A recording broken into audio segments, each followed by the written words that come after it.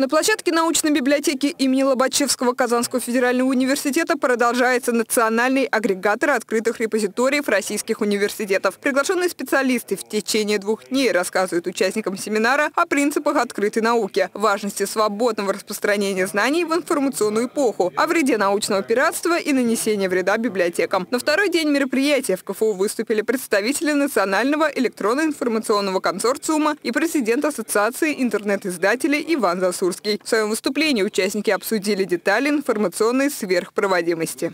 Вы знаете, вот с моей точки зрения, у нас есть задача у нашей страны развиваться именно с точки зрения способности производить инновации. И для того, чтобы мы могли производить инновации, я буду доказывать, что необходим открытый доступ к знаниям.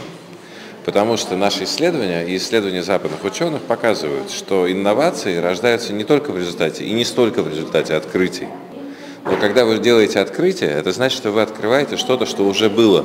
Просто вы этого не видели. Вот вы это открыли и увидели, да? Также в течение дня участники семинара обсудили темы, касающиеся работы с научной информацией, доступ к ней и многое другое. Адель Шамилова, Ленар Давлетьяров, Univer News.